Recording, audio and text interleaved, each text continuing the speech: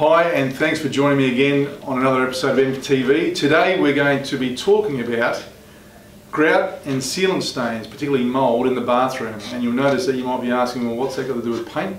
Well, as you would know, those of you who subscribe to Monsta and have seen our video when I was with Elle Macpherson and Dane, we told you that we're the new way to buy DIY, so we're going beyond just paint. So you'll start to see some videos where we're talking about other questions that come up for DIYs and this is just the start of a whole lot of new things that we'll be discussing. But today it's all about grout and silicon stains. So let's start with those because they are bugger stains. Some of you will call them bastard stains. We know what they're like. Very, very difficult to deal with and an ugly eyesore in the bathroom. So grout.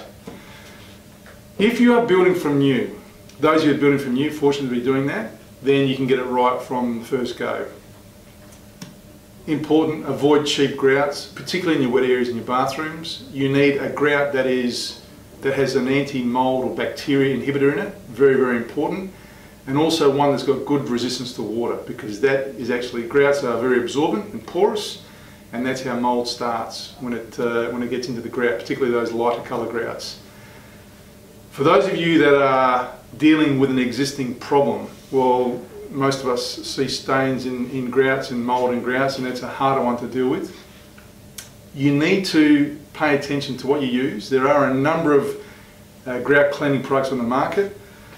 There's a bit of conjecture and opinion on how effective they are and how safe they are to use, but I'm going to tell you a few things that you can use inside the home that might make life a little bit easier for you. So, firstly, you're going to need either a, an old toothbrush or a grout brush, but I'll tell you what works really well buy yourself an electric toothbrush because it'll be easier on the on the on the workforce, and uh, and the the, the uh, scrubbing piece afterwards. But what works really well is forming a solution which involves making a paste using two parts of bicarb soda, one part of water, mix that to make a paste, and uh, on gentle stains in grout you apply that on using that toothbrush or brush and then after you've applied it on for about 10-15 minutes, rinse it off with water.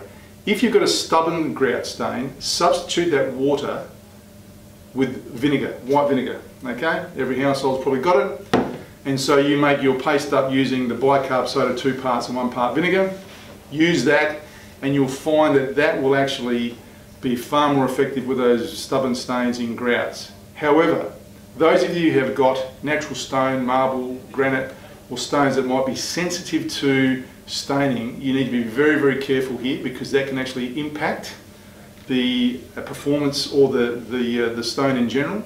So either get a small section in an inconspicuous area and try that first, see how it goes. Otherwise, um, check with your tile merchant or a tile store to see whether that's going to be effective or not. Or if your tile needs to be sealed first, make sure it's sealed, so that's, that's a safe one. If you want, the other thing you can try is actually using hydrogen peroxide, which many of you might have in the home, and mix that with the baking soda, or I should call bicarb soda, and that is a little less acidic than uh, the vinegar. And what the acidic uh, effect has, it, just takes that little bit of surface off the top of the grout, being a cement-based grout, and it then cleans it. Once you've cleaned it, rinse down and dry it with a, uh, a, a, damp or a dry towel. Get the grout right and after 24 hours my suggestion is to seal it. Once you've gone to all that trouble to clean and scrub with your, with your electric toothbrush and got all those stains off the grout joints, if you seal it you'll have less maintenance going forward from there and that's going to make a big big help for you.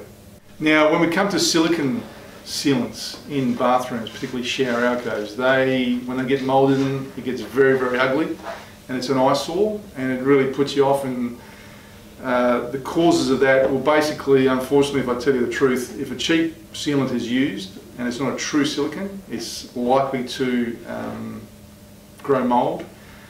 And also the fact is you've always got a constant wet area where they are used, mould is attracted to grow there and if, if areas aren't dried and kept clean, uh, but particularly dry, then that's going to uh, be affected. So again, if you're building from new, those of you building new bathrooms, buy silicon that's got an antifungal, anti-mold bacteria property to it and ensure that coloured silicons are going to perform as well as the ones that are either white or clear because they tend to have a far greater, a different colouring property to them and better resistance to mould. But just check with the brand you're buying that it has that mould inhibitor in, in it. That's, that's critical.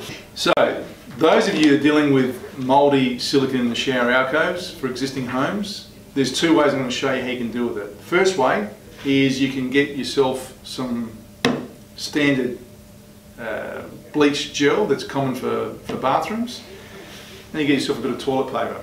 And what you do with the toilet paper or a serviette is you might pretend you're rolling a cigar, but you actually just twist it just so you have that sort of shape that you're forming.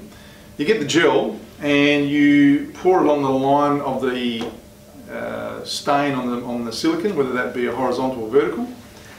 And then while that gel sits on the wall or along that stain, you then bed that into the gel.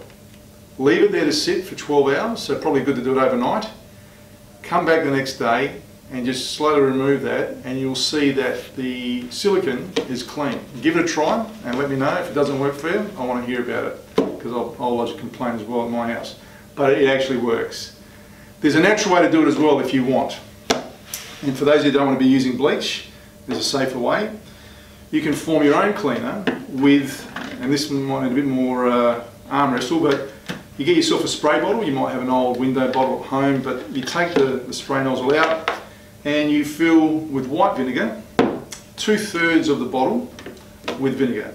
And then you put in a, uh, two teaspoons of bicarb soda into there and you'll see it froth or fizz a little bit it's all safe, let that happen. Once it stops frizzing, put your spray piece back in, spray that over the mouldy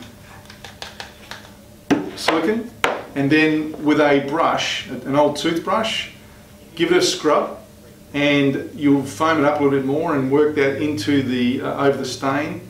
Then what you need to do is rinse down with hot water. What that does, it actually kills the spores of the mold naturally, okay? And it's important that you uh, kill them because if you kill the spores, that stops it from spreading and growing further.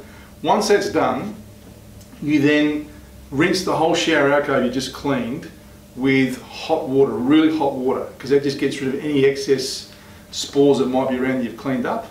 Then dry it off with a towel dry the area clean so they can dry, put a fan on, keep the window open in the bathroom, let it dry out, and you've got clean silicon. From there, you just need to maintain it, which is a challenge, I understand that, but keeping the area dry is the key to it.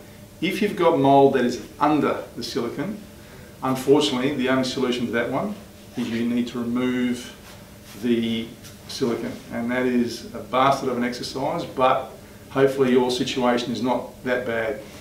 So look, there are a couple quick, simple ways of dealing with real problem stains in the wood area, um, and they do make a big difference.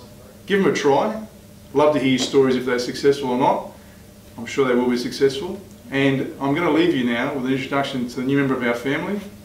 Meet Lizzie. Very knowledgeable dog. She knows exactly what she's talking about. So all your questions fire at me, I'll help answer them. See you next time.